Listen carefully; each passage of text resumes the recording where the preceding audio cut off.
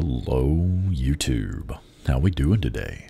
So, I am about ready to move on to the next chapter of the game, and I wanted to show my method of getting the best possible start on the endgame content.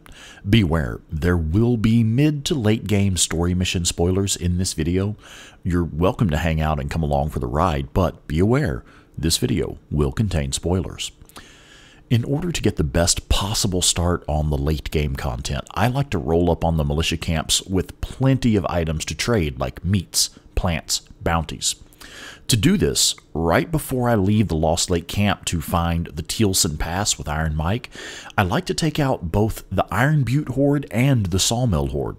The Iron Butte Horde is 300 bounties, and the Sawmill is 500 bounties. So I make sure to pick up as many meats and flowers as I can along the way while I'm clearing these two hordes and while I'm traveling to the hidden loot locations to get supplies for killing these hordes. Uh, I will link a uh, I'll put a link to the hidden loot locations video in the description so that you can use that in your playthrough as well. Okay, let's go ahead and get started. Here we go. We are in game. And we are at the dreaded sawmill. Let's do this. Okay, if you have been following my best start guide or hell, even the uh, get your SMP9 early guide, either one of those will get you set up to a point where you can totally have your SMP9 and the MG45, and yes, also the auto shotgun you see there. You can have all of these weapons unlocked, like actually unlocked where you own them in your weapons locker, uh, if you were following my guide videos. Also, if you are using the hidden loot location video, you should be able to get yourself maxed out on literally everything before you reach this horde. There's no reason to go into this horde unprepared.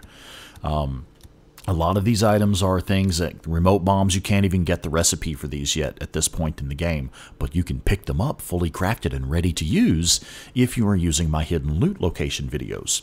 So make sure that you check those out to get yourself properly geared up before you go in to start this horde. So this is where I start.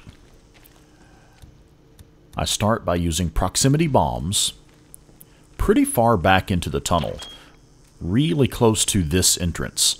That way if anything comes in behind me, there's a chance the um, bomb there will take it out before it gets to me. I also like to put bombs in these little choke points where things like the boxes and the doors and stuff make a natural choke point in the tunnel. But I am always very careful to space them out. You do not want one bomb detonating the other, so you have to make sure they're not close enough for that.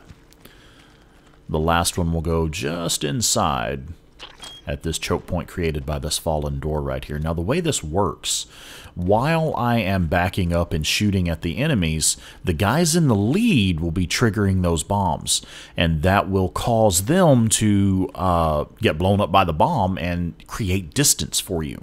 It will make it where the only ones you have to deal with are the ones behind the guys in the lead. And then you have time to fall back, reload, and use the next bomb for the exact same thing. It's just to create distance. So I'm not really using those bombs to get kills. That's not where the bulk of my kills are coming from. Those are in place to create distance. Then I move in and I use these proximity mines. Again, the proximity bombs and proximity mines, you can find plenty of these. These are actually quite plentiful. You just use the hidden loot location video that I have linked in the description. You'll have plenty of these by the time you get here. Come on, there we go.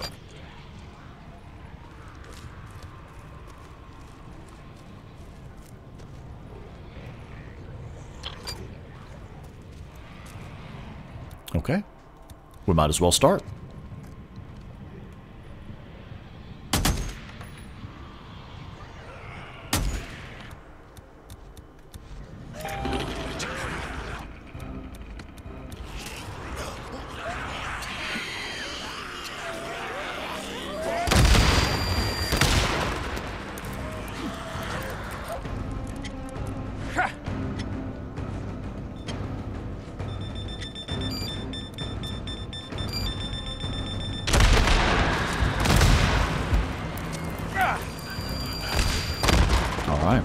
Done as much damage as we can do there.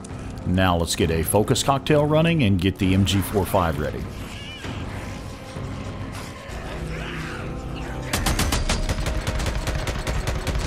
I want to keep them away from that first bomb as long as I can. Taking down the front ranks. Go ahead and reload. Think another focus cocktail is a good idea. We're going to keep these guys as far from that next bomb as we can. Buying time and creating distance. Go ahead and reload again and we'll use the next bomb. Hell, why not another focus cocktail? Might as well. I've got plenty.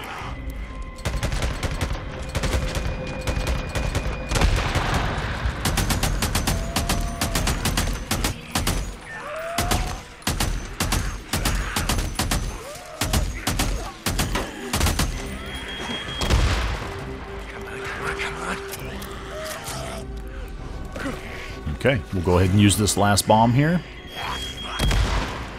Again, creating distance. That's what they're there for. Always bring a weapon with a suppressor to take out random spawn enemies and stragglers. Always bring at least one weapon with a suppressor.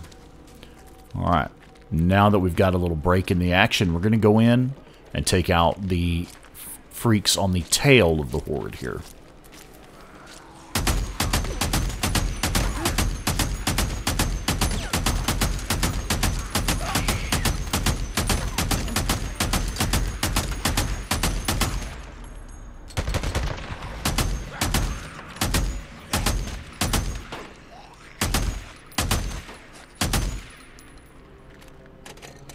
Alright. We'll let the rest of the horde go back down into the barn, back into the mill. We'll go ahead and top off our ammo, and we'll move back in and clear out the rest of them. Nothing to it. I also like to park the bike in a position where I can get away quickly and easily if I need to. Or run to the saddlebags quickly and easily whenever I need to.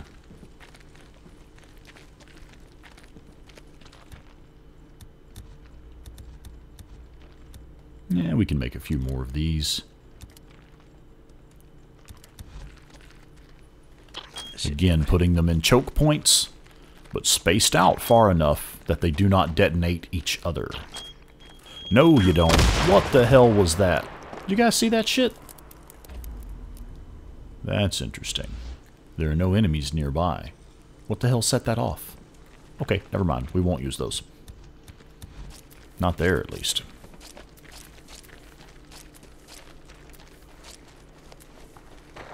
Yeah, that Days Gone, right?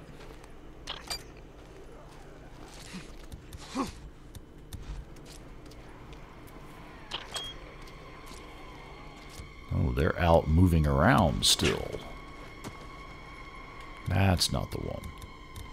Sir, that's the one.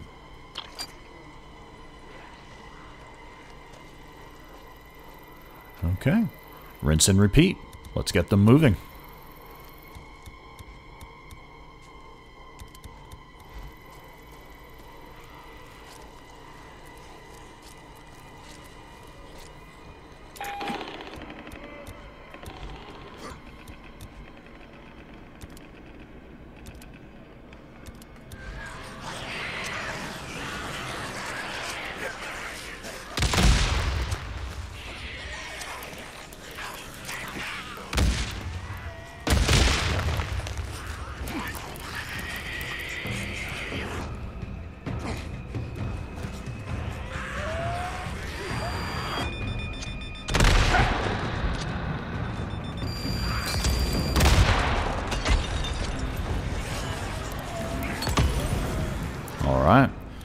Get the MG45 ready.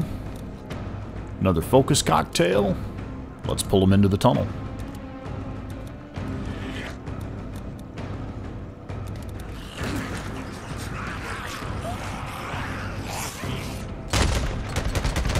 Okay, we're fairly close to the next bomb.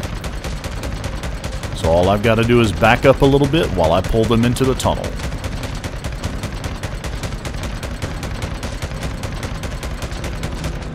Go ahead and reload.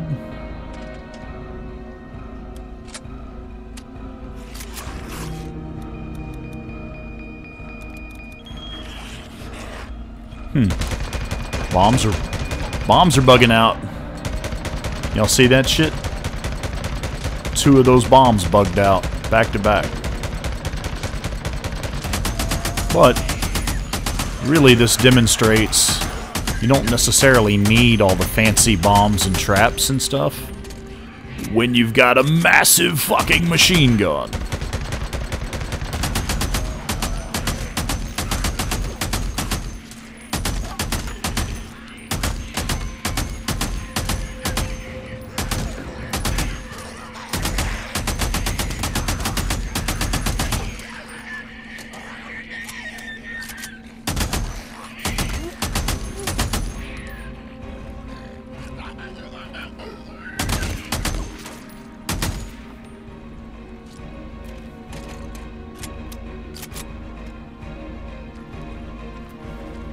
Okay, let's see if we have any stragglers left. We should have plenty of ammo between what's left in the MG45, what's left in the SMP9, and uh, the auto shotgun. We should be good to go here. There can't be that many more of them left.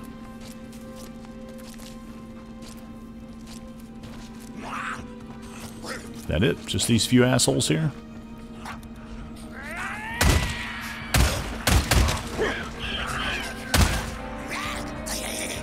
Uh, come on, guys, let's go.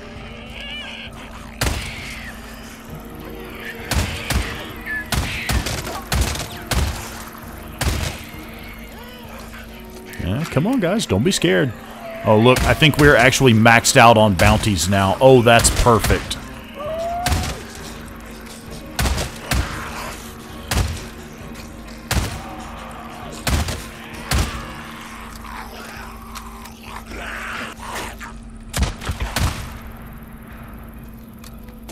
That it?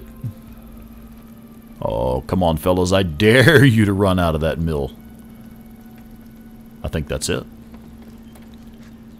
Alright, so that rather beautifully demonstrates using this technique to get yourself filled up on bounties before you head south to the militia areas.